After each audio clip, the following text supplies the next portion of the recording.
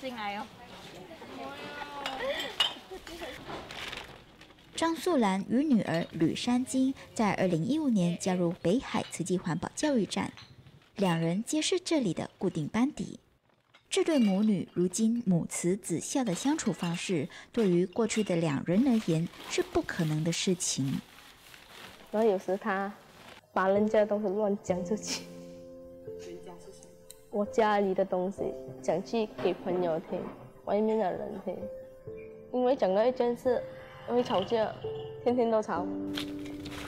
与这对母女结有好缘的林美珍，成为修复两人关系的灵魂人物。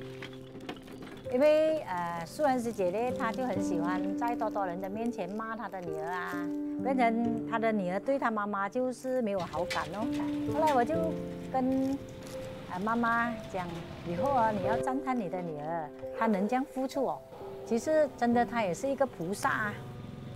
长时间投入做环保的母女俩，终于有了共同的话题，编制环保篮子也成了增进母女感情的催化剂。